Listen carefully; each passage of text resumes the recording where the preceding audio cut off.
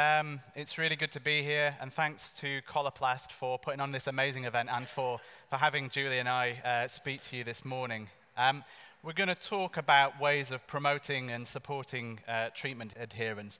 Our aims and objectives for this morning are to highlight some of the psychological factors that may influence adherence, to discuss ways that you might maximize the chances that someone's adherent right from the start. So, right from the first time that you start to discuss uh, different treatments, or maybe the first time that you meet with someone.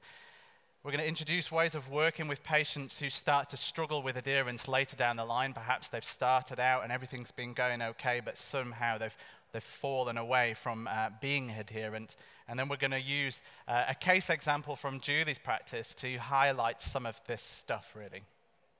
Now, one of the things that Philip talked about yesterday, particularly in the earlier phases following diagnosis of a, a long term health condition, perhaps a neurological condition, there are all sorts of things to adjust to, all sorts of things to get your head around. New things that we didn't think that we would have to deal with or think about before suddenly are on our radar. We're having to think and worry about this stuff.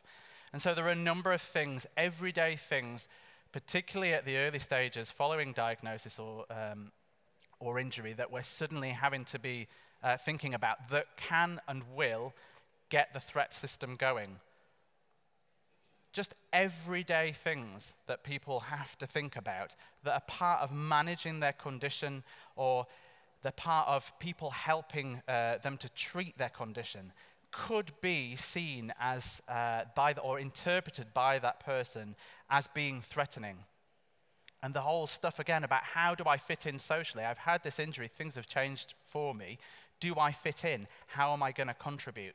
But also some of the factors relating to we recommend treatments to people with all good intention because we believe that they are the right treatments for that person, but that does not mean to say that that person won't find elements to or things about that treatment potentially threatening. And as Desiree said this morning, if people feel threatened, if they're anxious, it makes it far, far less likely that they're going to take on board what we're saying, and far, far less likely that they're going to be adherent to these treatments. So there's a few things that I'd like you to hold in mind as we talk about adherence. So one of these things is that we've inherited, and it's a good job that we have, this threat-focused mind from our ancestors. We can't help that. That's not our fault. It's old programming, if you like. But it's still there. It's still seen as relevant uh, today. Our brain remains oriented, uh, oriented towards threat today, and our threat system affects us from a physiological, a cognitive, an emotional, and behavioral uh, point of view. And there are lots of potential challenges for people with neurological conditions that may activate that threat system. So I'm going to move on to treatment adherence now. So, treatment adherence is the behavior. And what we're talking about is whether someone is taking action in line with the things that we have recommended that we say, for good reason, will help them to manage their condition. And adherence is really, really important. If we are recommending that someone use a particular treatment, it's because we believe it will help them. If people aren't adherent to that treatment, then there's a high likelihood that the treatment won't work. It will fail in some way, shape, or form, which will increase the risk of morbidity and increase the risk of mortality. So, adherence is really, really important.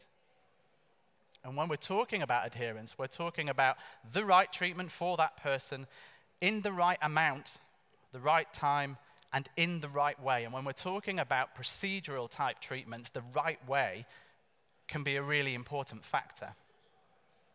And if people are able to be using the treatments that we recommend in the right amount and the right way, then hopefully they're going to reap the rewards of the treatments that we're recommending. So the things, thinking about transanal irrigation, the things that we hope that people will um, benefit from, if that is the right treatment for them, are an avoidance of fecal incontinence, um, avoiding things like constipation, being able to get into a regular and workable bowel regime that doesn't take over their entire life, so that they can achieve comfort and safety, dignity, autonomy, and then the social, psychosocial factors that are so important around them being able to participate from a social point of view and be able to maximize their independence.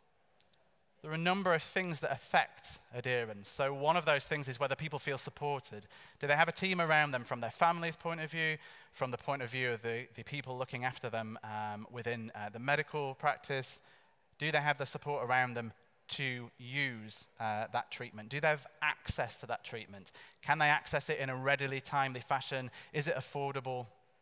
Do they know how to use it? Do they have the necessary information in order to be able to make use of that treatment? And then there's a balance of beliefs as well. Does that person believe that they need that treatment? Is it seen as being an important element of their treatment, of their, of their uh, condition management? But also, are they overly, are they concerned about the potential adverse effects? Most treatments, if not all treatments, have potential side effects. But is someone uh, overly concerned, or are they over concerned about the, the, the likelihood um, that this treatment's going to lead to negative consequences? If someone's in threat, if someone's in that threat mode, if they're worried, if they're concerned about the treatment, again, they're going to struggle. And also, do they feel confident to make use of this treatment? So, we're going to talk to you about laying good foundations for adherence. So, th- these are things that we feel are important right from the start, right from the very first consultation, laying good foundations to make it much more likely that someone's going to be on board with us and is going to be adherent to treatment. Thanks, Nigel. So, um, assessment is so, so important when you're seeing a patient for irrigation. And I think it could be useful to consider using a checklist. Although you know all the questions, as a medical person what to ask the patient potentially. It's setting up a good standard of care. It's showing the patient that you're invested in them and that you are caring about the details of their problem. So, by having a checklist, it keeps you focused. The patient can see that. Time is of the element here when you've got a clinic full of patients to see. I think it's quite clinical, it's not pitying. I don't like pity. They like to see somebody, patients, that's going to take a clinical approach to their care and get things covered. I'm hoping it perhaps reduces some of the embarrassment because you're asking from a checklist. So those questions you're asking are therefore okay. It's okay for the patient to tell you that they've got this symptom or they're putting a finger in their bottom, etc. Detail, care, and showing that you're going to get things right for them. So we know about the neurological bowel disease questionnaire, and that's a really great tool. But it's not enough when you see your patient in clinic. You need to do a really detailed assessment, and you need to ask them all the questions that they may never ever have been asked before about their bowel symptoms. You are the first person that has ever covered every bit of detail about their bowels. And by doing that, again, it shows you're going to give good care. But also, this is crucial because if you want patients to adhere to transanal irrigation, you need to follow them up. And you're going to be able to use this assessment tool when you follow them up to give them really detailed follow up advice. Good information, keep it basic. It's completely overwhelming when patients first see this kit. So demonstrate the equipment in a really simple way. And remember, set realistic expectations. Peristeen is great, as are other irrigation kits, but it's not going to cure depression for the patient. It's not going to take all their pain away. It's not going to decorate their house for them. So you have to remember to tell them that this will be a two or three month process of you looking after them, troubleshooting, so that we get to the right pathway and it will work well for them. Simple, simple, simple. Don't bombard patients with information at that first appointment. Chunk what you need to tell them. And then you add to that in the follow up. So, this is the kind of advice I might give to my patients when they come and see me before they go home. And we know this from the field of addiction too. So, motivational interviewing is a, for the, a number of you will have heard a motivational interview and maybe use it in your practice. And there's no way that I can do justice to motivational interview in the next five minutes. Um, we could have a whole conference about motivational interviewing. But it was developed as a, an antidote, if you like, an alternative to persuasion techniques within the field of addiction. And it's been rolled out to be used in healthcare. Um, and there's some really good books that will guide you uh, in making use of motivational interviewing. So, motivational interviewing is a, a, way of being with people rather than a particular type of therapy. And it's built upon the assumption that whether someone is motivated to make a change or not depends highly on what we say to people and how we say it. And that confronting people only tends to make them more stubborn. And it's based on a number of skills. These are skills that you will already have in your toolkit. The things that we already, you will already know about. And it's ways of being with people in the room.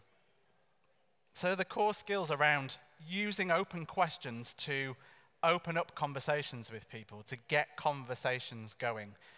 If someone started to struggle with their treatment and they're not being adherent anymore, they're probably going to feel it, they're going to be feeling uh, probably negatively about their use of that treatment, but they might be having uh, negative thinking about their management of their condition as a whole.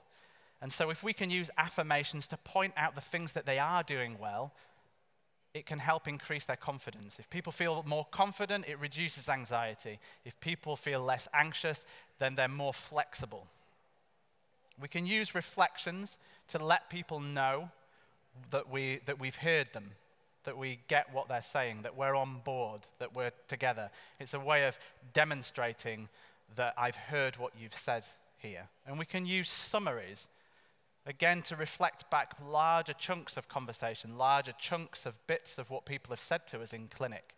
But maybe use summaries in a, um, in a skilled way to highlight certain parts of the conversation that might link to change.